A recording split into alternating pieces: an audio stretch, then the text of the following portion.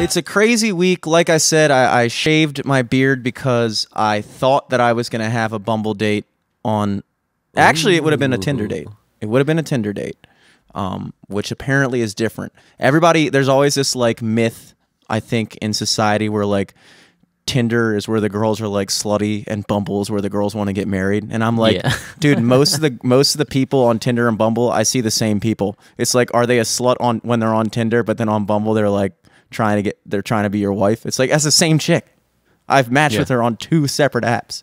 Same exact pictures. When I message her, I'm like, I want to hang out, but like in the Tinder way. If you could, I messaged you on Tinder, but you didn't respond.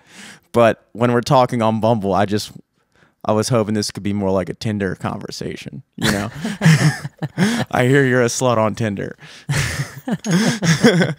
but so you know, I don't. I'm not that active on those apps. So like every every like three weeks, I'll just remember that I have them, and then I'll just I'll be bored sitting in my apartment, and so I'll just pull up my phone and be like, all right, time to just cruise through the apps and start you swiping. like wearing gloves now when you're using Tinder? Yeah, Just in I- case? yeah. Obviously, dude. It's the socially responsible thing to do. And uh, so I go through, and what's cool is when you do, when you wait that long, you just get bombarded with like all the matches for the past four weeks all at once. And so it makes it fun, as opposed to your normal, if you do it every day, it's like, damn, nobody loves me. Nobody likes me. you just get that constant reminder every day. Yeah. So so instead, it's just like, oh, this is a fun reminder, and then you get match, match, match, and then all of a sudden you're just talking to like five different girls at once, which isn't hard because most of those conversations only make it one message in before I say something stupid and they ignore me and ghost me. I still have not locked down the uh the whole art of that. But this one, I got I was like I really I so there's this new there's this new feature on Tinder called Secret Admirer. Ooh. You haven't, yeah. It's I, I just noticed it last week, and basically What what, it it is. So Is basically, like the star or whatever? you'll just be like swiping, and then like randomly it'll pop up, and then it'll be like a thing of like four black squares, like a like black squares, and you have to pick one of the black squares, and it brings up a picture, and then that is someone who has liked you that like then you can just choose to like them. It, it, I don't really actually get the point. It's just like I'm imagining it's just people that have liked you that if you would have ran across them regularly and and swipe right or whatever direction is yes, I never know to this day what direction is that. I've probably swiped 40,000 times on Tinder and I still have to look at the words that kind of come up every time I swipe. Am I doing this the right way? I don't know. To this day, I still don't know which direction I'm supposed to be swiping. But so it popped I guess up. it's it's probably supposed to be so like maybe you'd like reconsider swipe like unswiping them or whatever like disliking them you oh, know Oh, because so, like, you know that they like they you. like you yeah and, and that's like, a big play. a chance That's a big play because that changes the game a little bit. Like if I see a girl who's on the fence, but I know she's into me, that's like that might put her over the edge. I'd be like, okay, cool, cool. yeah Um, and it worked. and then you just yeah and then you ruin it two messages in and then I ruin it. It's like, damn, this girl really liked me, and I ruined it. But uh, no. So so I pulled up my secret admirer and uh, I swiped yes just because of exactly what we said. Uh, but then then I didn't message her because I was like, all right, I'm really not actually feeling this chick. Not that Yeah. into it. I was I had I- my Corona goggles on at the time. it's too easy now i know you like me Yeah, the, the thrill is gone. gone. Yeah, the chase is already over before it started, and so I didn't message her. But then the very next girl I swiped on was hot, and we matched. And then I was like, I'll just tell her that she was the one I matched with as my secret admirer, as a conversation starter. I'll just make this up. Who cares? so I message her. i'll just make this up who cares? I'll just make it up. so I message her and I said, Tinder says you're my secret admirer. I always suspected it. And then a day later, she replies, "Wait, what?" and I was like, "Okay, Jimmy, you got to dig this out of this hole. You got to dig yourself out of this hole. You did not. That's this did not the go curse of you- the second response You've already blown it. In fact, you blew it so bad that instead of just ignoring it, she felt the need to reply and be like, "What the fuck is wrong with you?" and so so I replied back. I'm driving around. I'm I- I'm like trying to think of a Tinder response while driving for deliveries, not finding where I'm going because instead of looking at my maps, I'm looking at Tinder trying to think of a response. So I'm just doing laps up and down York Road, missing my turns every time, crashing into lanes, swerving into other lanes. Uh, and uh, so finally, I just said something. I forgot exactly what I said. In fact, I have no fucking clue what I said, but it was something along the lines of, ah, yeah, I don't know what it is either. I just saw blah, blah, blah. Anyway, whatever, whatever, whatever. And we just kind of spun in this conversation. And we were talking back and forth a little bit. And uh, at the end of the night, I, I just kind of said, like, hey, we're allowed to go outside now. This is on Wednesday that I was messenger messaging her. We're allowed to go outside now. What are you doing Saturday? And she was like, I don't have any really really any plans. I was like, we should drink outside. Very vague plan, but Yeah. lots of potential. You can you can do anything. That could be Loch Raven. I didn't want to commit to a location. I didn't want to be like, we got to go to Loch Raven. We got to go to Patterson Park. We got to go to Ocean City and get Thrasher's fries and get on the news. so Eric could sit there and be like, what a fucking asshole. Oh wait, that's Jimmy. and uh, so I left it, you know, open ended, and uh, and then I said, my number is this. Text me. You earned it. Um, and then You earned it, kid. hey, kid. And Tussle so I- her hair. You earned it, kid. Yeah. Here's my number. and so I wake up in the morning to a text from her saying, "I guess I'll text you since I earned it." In quotes, and I was like, "Nice, nice. I am so in, so in." And Yeah, uh, dude, you're already dominating her. Yeah, already. I mean, I'm telling you, you know, if I hope negging never becomes illegal because it is the most effective way of flirting of all time. it's if they took that away from men, I don't know what we'd do. Yeah. But I anyway- mean, yours is very tame. It yeah, it's not really negging. It's Unless just kind it like, just like the podcast approved stuff that you're going to talk about. no, no, no. I'm Maybe I'm, it I'm, gets much worse. I'm good about it. I'm kind of more like, hey, kiddo. Text me, you earned it. You know, I'm not like, yeah, you should be texting me. You're fucking holy. You're Bet I'm lucky. the I'm even. I bet I'm your only fucking match in months. So I wake up to a text saying that, and you know, I played it cool. I was like, whatever, just left it at that. And later, and then I let the whole day go by, didn't say anything. The next night, I text her and I said, besides Corona Lights, what's your favorite beverage to drink outside? And she said, LMAO, I don't, I hate Corona Lights, but White Ooh. Claws. And I was like, obviously, obviously White Claws. And I was like, all right, maybe we can think of something here. What's your favorite flavor? And she goes, uh, black cherry. And I sent her the the the this face, this emoji. Was this face?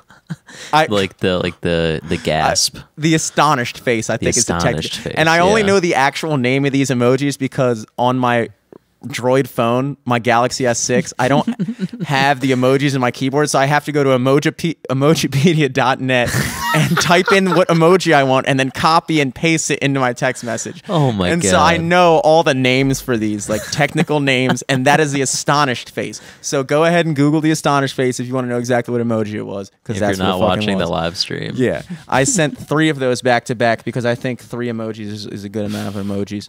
Um, and then uh, I said, uh, you know, this said the other thing, and she was like, "You don't like black cherry? Uh, which flavor do you like?" And I was kind of high at this point, and I was thinking of flavors, but then I realized that all the flavors I was thinking of that I thought were White Claw flavors were Juul Pod flavors. Dude, exactly. I was about to say that. so I texted back and I said, I'm trying to think of my favorite flavor, but I keep on getting them confused with Juul flavors. And then I rate a quick text after I said menthol claws, and then a quick text after that I said no rules when you're hitting Juuls. and then, and then after that. The high part of me was like, but you, sh- you know, what if she's not into vaping? So maybe you should clarify that you don't necessarily vape. You're just making a joke. don't, don't worry, I switched back to six. So then I literally sent the next text. This is now my fourth in a row in the course of 30 seconds. I said, Don't worry, I don't vape though. Ha ha ha.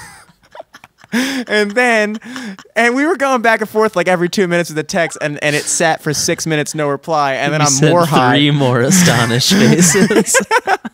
So then I'm more high at this point, and I go, but what if she is into vaping and now she's turned off that I just said I don't vape? What if she was typing out an awesome response like, oh my God, I'm so relieved that you vape because I vape and I love menthol white claws. and so then I text her and I say, I mean, sometimes.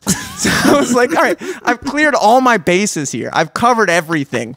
I dropped a dumb anecdote, a joke, another joke, a disclaimer, and then an anti disclaimer to all of everything I just said, essentially negating everything that's happened in this conversation. Needless to say, no reply. No reply. And I'm thinking, like, you know, it's 10 20. She probably is asleep on a Friday. She probably has to wash her hair. yeah. and so I get no reply. And then the next morning I wake up fully expecting, uh, haha, sorry I fell asleep. Yeah, yeah, I vape or something. I don't know what I expected. I do vape or I don't vape or I don't give a shit if you vape. Whatever, something, nothing. So uh, I go through the day and I'm just like, oh man, I knew this was going to happen.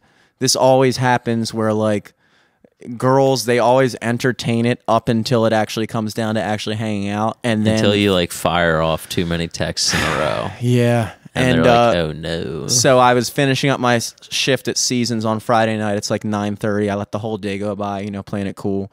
And I, and we were supposed to hang out on Saturday. We had been, you know, casually, vaguely making plans to do that. And uh, so I figured, you know, I'm just gonna send one last hail mary, and then if and I just sent her a text at 9:30 the next day. I said, "Not a big fan of the Juul jokes, huh?" And uh, and uh, nothing. So that's where we are right now. But uh, you know, it's just it, so I shaved for no reason because that's really why I shaved. I was like, you know, uh, and it just so happened that it also happened to coincide with the lift of the stay-at-home order. So I was like, okay, I did maintain a beard for the full time that we were technically supposed to stay in our houses, and I saw what I can do with two months of facial hair growth, and I wasn't impressed, and I was tired of it. I was tired of it. So I shaved in anticipation for this date that was never going to happen, and now here I am, clean shaven, and I look weird. And I look weird, and I think it's a blessing that we didn't hang out because I would have looked weird on that date. My lips, I my mouth is smaller than I remember it. I don't know where my jawline went. I think my jawline just packed up and left. It was like, dude, we, why are we trying so hard? He's growing a beard. We don't need to be here. And then I shaved, my jawline was like, fuck. Where'd I go? Um, but yeah, it just that just always fucking happens. And I think the major problem is is I knew this from the start and and it's a learning experience. And the problem is is that you approach different girls differently. And if you want to if you're if you're trying to hang out with a girl you need to kind of make it apparent the way you message and things like that what your motivation is. Are you trying to hang out with me because you're trying to date? Are you trying to casually hook up this that the other thing? And uh, me being the person i am i as I discussed formally on this podcast, I always feel the need to like put myself out there as like say something zany or whimsical to try to catch their attention. When in reality, I really do think I'd have a higher success rate if I was just like, "Sup, you go to Towson, you live in Hampden, or something, just something stupid." That's you know, tight. yeah, that's tight. That's tight. Me and my boys are going to Patterson Park on Saturday. You should come over with some friends. We can chill. You go to Frazier's? I fucking love Frazier's. You should go to Frazier's sometime. Yeah, dude, that And guy's getting it. ass. Meanwhile, Mr. Menthol Claus over here, great joke. No rules when you're hitting Juuls. I want a shirt that says that. I say it all the time, thinking that people are gonna catch on and it's gonna be a thing, and it should be a thing because it's fucking sick. But uh, it's not ever gonna be a thing, and in fact, it's now 0 for one in getting me dates. Um, but yeah, so that was the whole occurrence with that situation. So no date, ghosted again. Um, but that's just the way of life, baby. I've been ghosted more times than I can count, and I almost like it now. I almost aim for it. Then I just went rogue renegade and just started.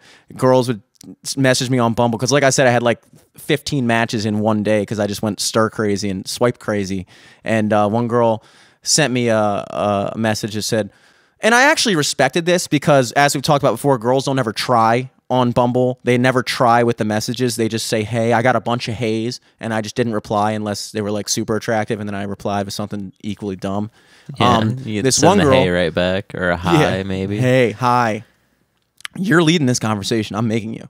Um, so this one girl actually tried, and I respected it. And she said, "Would you rather be with the love of your life, but have to wear a shirt made out of her pubes every day until you die, or not have to do that, but be alone forever. And I was mulling it over, and I was like, this is kind of a lame would you rather question, I'm not going to lie. But it is hard because I couldn't come to an answer. And then um, I just said back, I was like, depends. Would you rather me answer this question seriously? No, it was, would you rather talk to a guy that answers this question seriously or a guy who calls you out for using recycled material?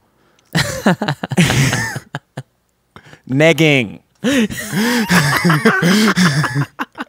but it's not negging because it, she, dude, and that threw her for a loop because then she sent me like two paragraphs. saying like, okay, I admit it. I got it from how I met. No, I got it from Thirty Rock, and this, that, the other thing. And then she sent the whole thing, and then I just replied saying, but for the record, I'd probably just go with the pube shirt." But like, but like, you know, and that's why we're not gonna hang out either. So it's whatever. we're not gonna hang out. And then one of the girls I matched with, you would love this. She's in Ocean City right now. Oh my goodness, dude. Yep. I was like, you should meet my friend Eric. He would love to meet you. Oh my god. I'd fucking I'd put her on a one of those like uh things where your head and your hands go through and have people throw apples at her. Oh, the stocks. What yeah. I throw in the stocks, dude. The stocks. fucking right in the middle of HonFest this year, dude. yeah. Put her in the stocks, have people throw fucking pink flamingos at her. Damn, dude. Every time I think about it, I just get bummed because that first girl I was talking about was actually like super hot. Um, you know, I go when I when I actually get some headway, I actually just start, you know, especially because I'm not seeing any girls and talking to anybody, so I have nothing to do but just talk to the three other Hispanic guys behind the line and talk to them and be like, I matched this girl on Tinder. Want to see her pictures? And we just sit there and look. And they're like, oh yeah, baby. I'm like, nice, dude. Yeah, I'm hanging out there on Saturday. She thinks I'm funny. Yeah, I'm trying to get some headway. I'm pretty much in. So over the course of two days, this girl was like essentially my girlfriend in my mind, and then we broke up, and now I'm devastated. Damn, dude. I'm, I'm sorry, dude. I feel for you.